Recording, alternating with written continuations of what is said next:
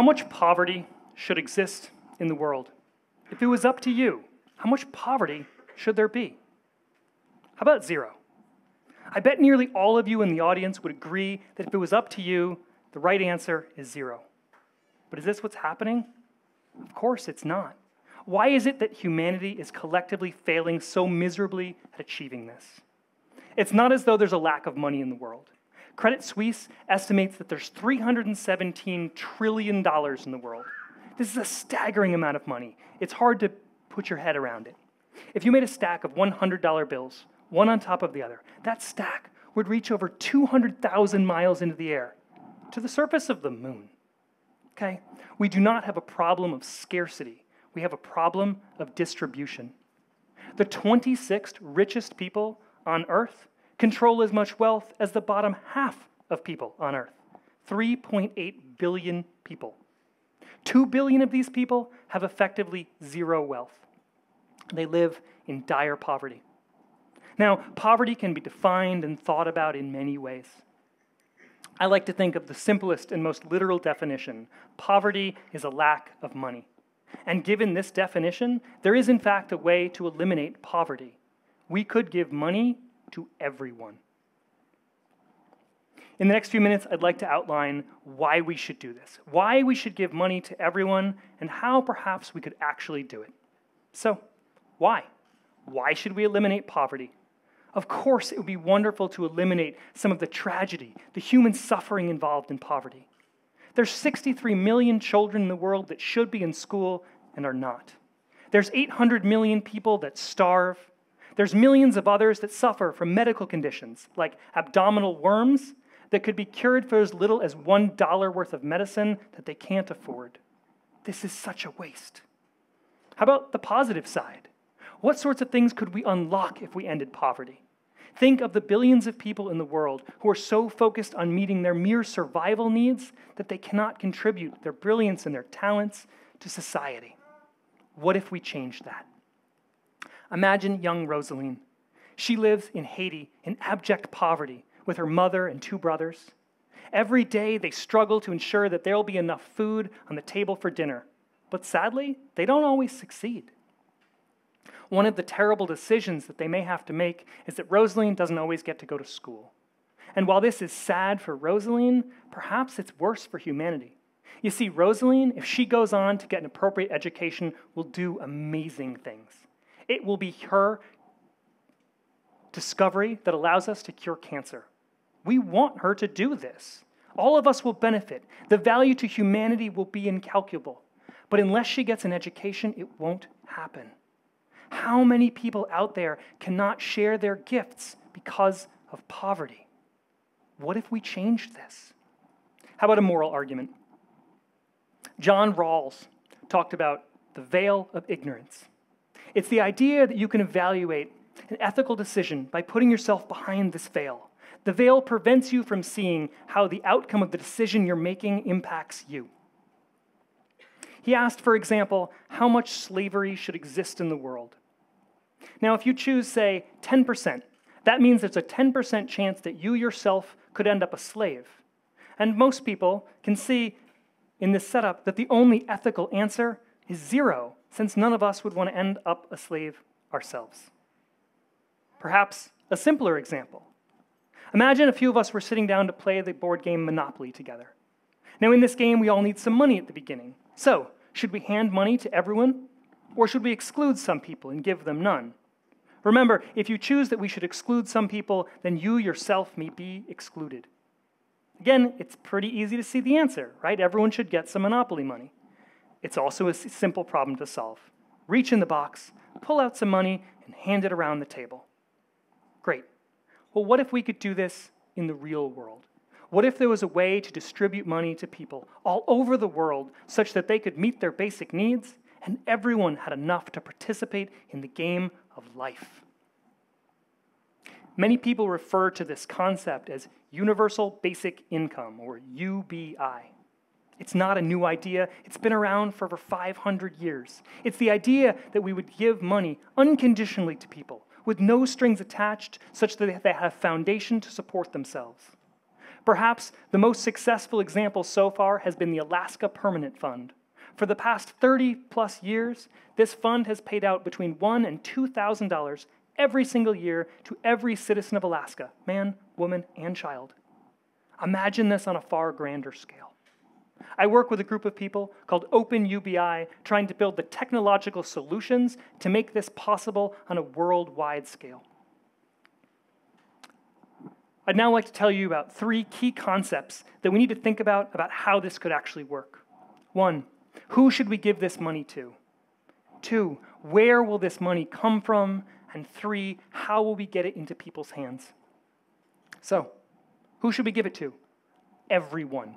Literally everyone. 7.7 billion people. Make this a human right.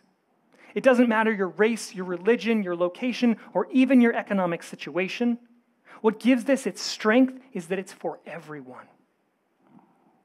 Now, I will note here that my, my ideas are in the minority. Most thinking and experimenting with UBI so far has involved just giving it to a specific group, perhaps citizens of a city or of a country. When I think about this, I focus on the word universal. Give it to everyone, make it a human right. So we know who to give it to. How are we going to raise this money? Remember, humanity has a staggering amount of money. It goes all the way to the moon. What we need to do is find and inspire some portion of us that want the system to be different and show them that it can be different. People already give generously throughout the world philanthropy, right? And I believe that we could inspire even bolder giving if we could convince them that this could create transformational change, and I believe that it can. Imagine there was a system that allowed you to send any amount of money, pooled with other people, and that money would be distributed to people all over the world. Would you consider sending $10 to such a system?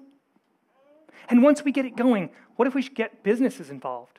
What if we create a campaign that businesses should donate 1% of profits to humanity? They could proudly put a logo on their door, on their packaging. Their customers would know what they were doing. Imagine this becoming the norm. Would you be more interested in shopping at a business that shared back to everyone, including you? So now we have a source of money. How will we get it into all, everyone's hands? And the answer is cell phones. Over 5 billion people on Earth have, have access to a cell phone. 2.5 billion have access to a smartphone. And at this point, more people in the world have access to a cell phone than to a flushing toilet. In addition to the growth of cell phones, has been the growth of digital money. Services like Venmo in the US, WeChat in China, M Pesa in Kenya, more and more people are embracing digital money on their phones in place of dirty slips of paper, and this trend will only continue. Perhaps more interesting is the advent of decentralized cryptocurrencies like Bitcoin and Ethereum. With these services, we can send money directly to people. It lands on their phone with no need for middlemen and no chance of sticky fingered corruption stealing all along the way. Now, I will note not everyone has a cell phone yet. It's true, but the numbers continue to grow. Inexpensive phones can be purchased for just a few dollars, and multiple people can share the same device. If you could get signed up on your friend's device for these universal distributions of money, then you would be able to purchase your own. So great, everyone's got a phone, we've got the money. What are we going to do next? Well, a few of us are going to launch an experiment. We're going to try to give $1 to every person on earth, including all of you. And I realize this sounds a little crazy, but hear me out. We have the first $10,000 raised. And with that, we're going to give $1 to the first 10,000 people anywhere in the world that join this program. They'll sign up on their cell phone, they'll get registered, and we'll send them $1 worth of cryptocurrency. We'll send a stable coin, so it's always worth $1. It's fast and easy to use. And once we've done this, once we've given a dollar to 10,000 people, we'll have a story, right? When we give you the dollar, it's yours. You can do with it as you like. You can spend it, you can save it, you can convert it to your local currency. If you don't need a dollar, even better. Click one button and you can send it back to the pool to be distributed to someone else. Either way, we've given to 10,000 people. And the story gets more interesting, right? And with that, we raise $100,000 and give to 100,000 people, and the story gets more interesting still. From there, we raise a million and give to a million people. And now we have some buzz. Traditional and social media have taken note. Perhaps Ellen will invite me on her talk show to discuss this. Right? And Ellen, if you're watching this TED Talk someday, I can't wait to meet you. Right? From there, we raise 10 million and we give to 10 million people. And by this point, we've proven that this system can change the world. While we, while we will have only given $1 to each person, we will have created this network. And networks have value. And while we've only given $1 to each person, it's simple to give it to them again. Right? Once you have an email address, you can get all the emails you want and a whole bunch you don't want. Right? So, there's only one catch though. Right? There's a problem here. Defining everyone for a system like this is exceptionally difficult. There is currently no organization on earth that knows who all the people are. Perhaps we could have some grand coalition of the governments, right? Because they all work so well together, right? There are over 1 billion people on earth who have never had any form of government identification whatsoever. There's billions more with shaky documents. And even if everyone did have a document, would they all be worthy of our trust? Could you imagine some dictator creating millions of fake supporters? Or some leader deciding to exclude the persecuted minorities in their community? No, I don't think that government can be this solution.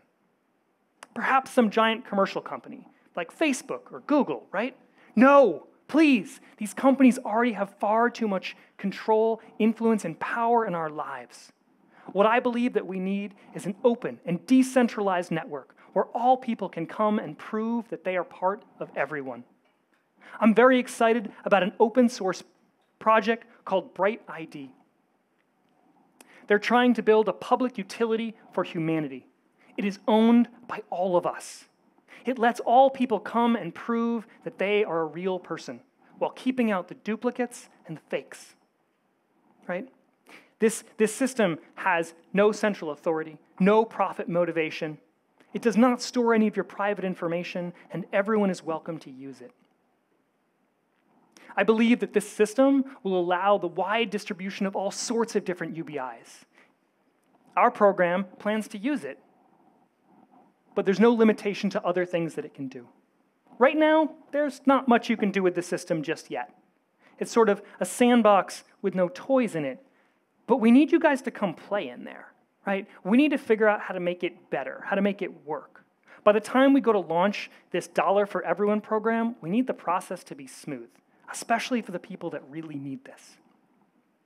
And if you do come in, you'll be first in line to get your free dollar, so hey, that's something. In the coming months, I hope to give all of you a free dollar. Because by engaging in this experiment, we can show that giving to all the people, universal sharing, is a possible thing. This should be an option for humanity. We should be able to share with everyone. And if we can prove that this is possible, I believe we will have made a giant step towards creating a world with zero poverty. Thank you very much.